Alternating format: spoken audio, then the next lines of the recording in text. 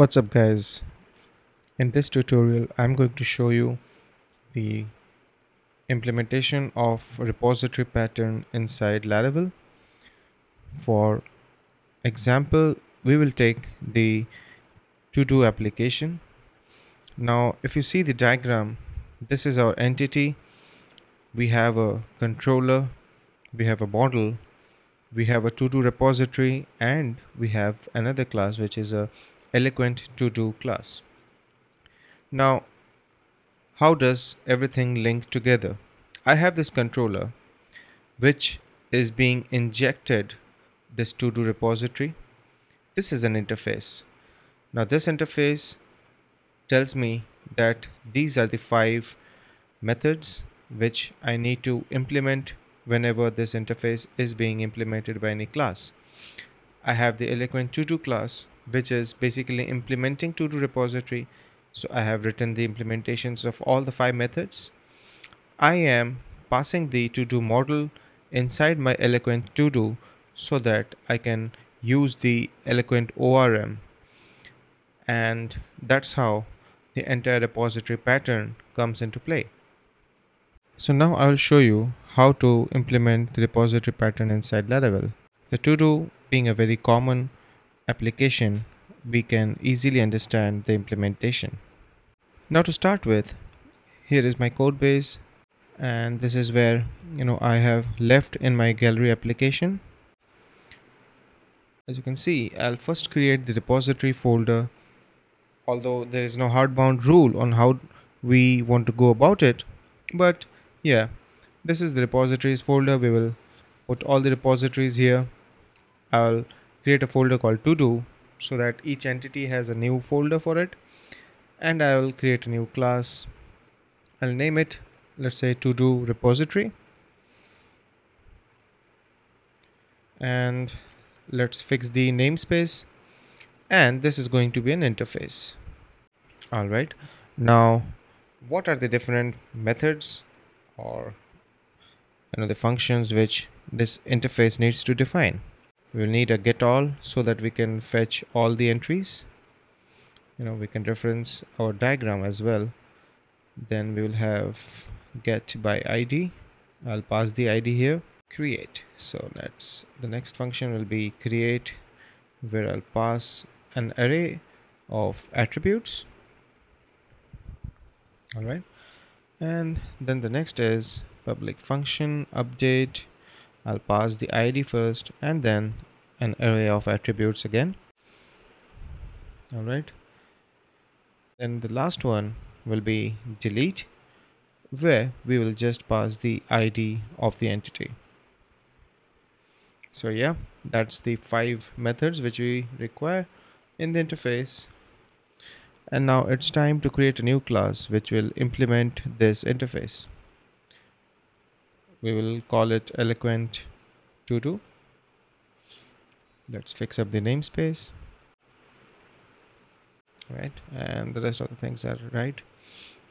So yeah eloquent to do it should implement the interface which is to do repository.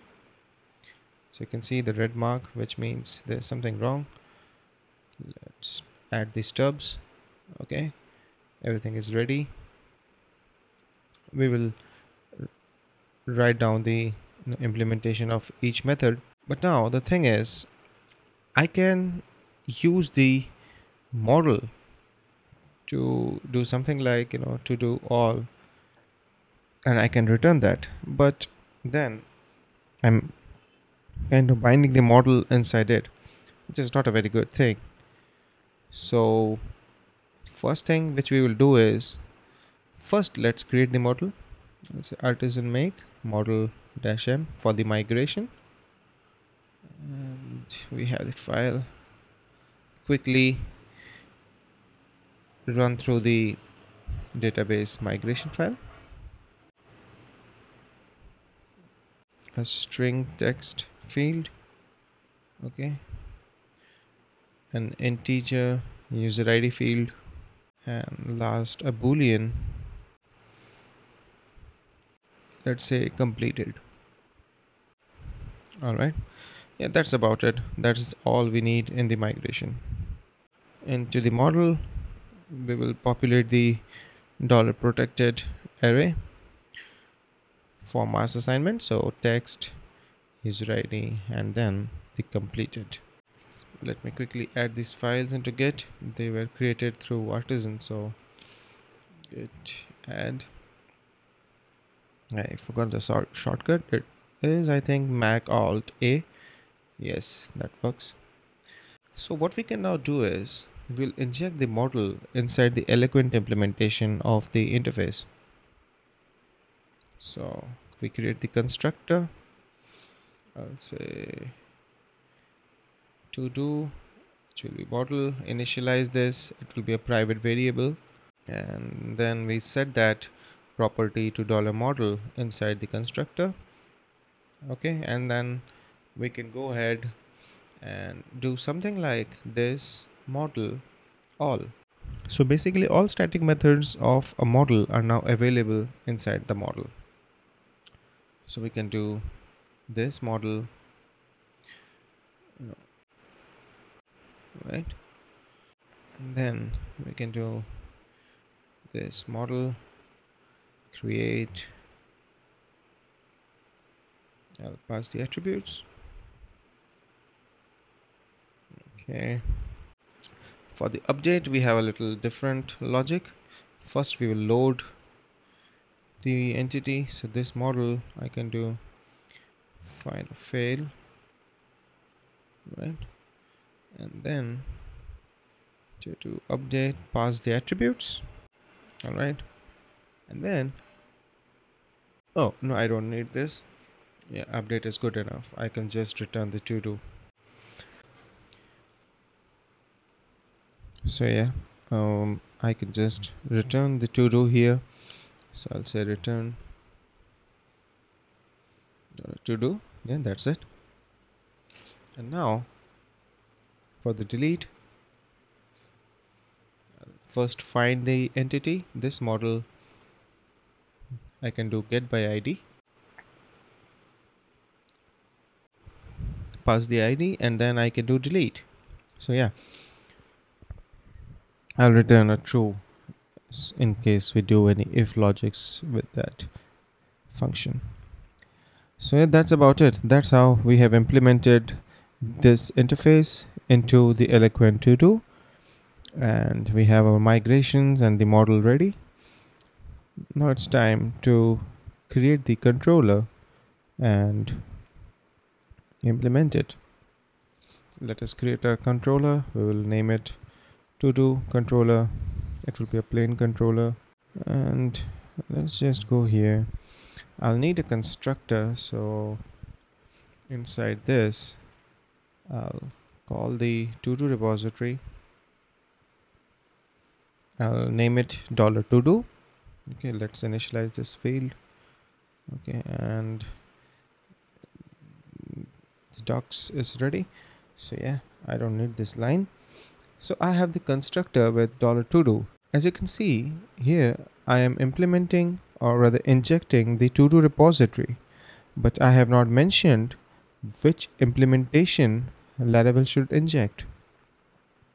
So how will Laravel understand which class it should auto-load when we are just implementing or telling him to load an interface? So this is app service provider is the place where we need to tell Laravel that you know this is the implementation we need to load. So I'll do this app singleton. I'll first pass the interface this to do repository class and the interface sorry the implementation. Let me import the files. Okay this is correct and this one as well.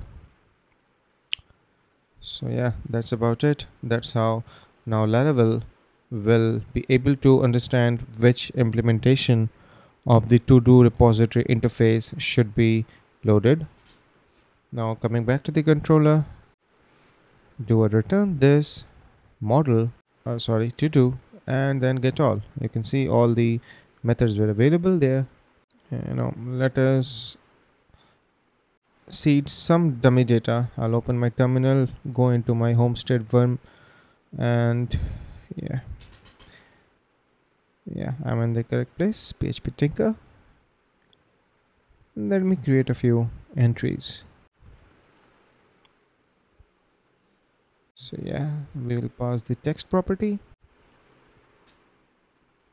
Then we pass the user ID for now we can hard code it to one and they complete it.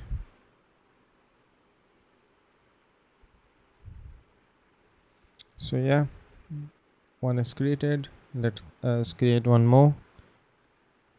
All right we have two which we can use to list down. So yeah let's go to our routes.php create a new url. Let's just say it will be a get url right? Let me name it um, my dash to do's right? To do controller at the the function name is get all to do's so yes that's about it let's go. Let me duplicate it. And inside this. Change the url my dash to do's and we are getting the json. We have four. I added two. Oh, i remember. So basically i was trying before creating the tutorial. So those are the two you know uh, entries which I have. Let me open the database and I can show you so inside the storage folder where is it? Storage database.sqlite then the SQLite is the database which I'm using. Uh, okay I don't want the newest version now. I'll go to browse data select the table and yeah we have four entries in the database. To make sure we are on the right track let me create one more. Okay let's just say add one more to this db hit refresh and you can see this is the correct implementation. So yeah that's about it. That's how you know we use the repository pattern inside laravel. Believe me it's a very good way of doing large scale application development. And throughout this series i will try and you know make you understand what are the advantages of using this you know uh, development method. Thanks for watching guys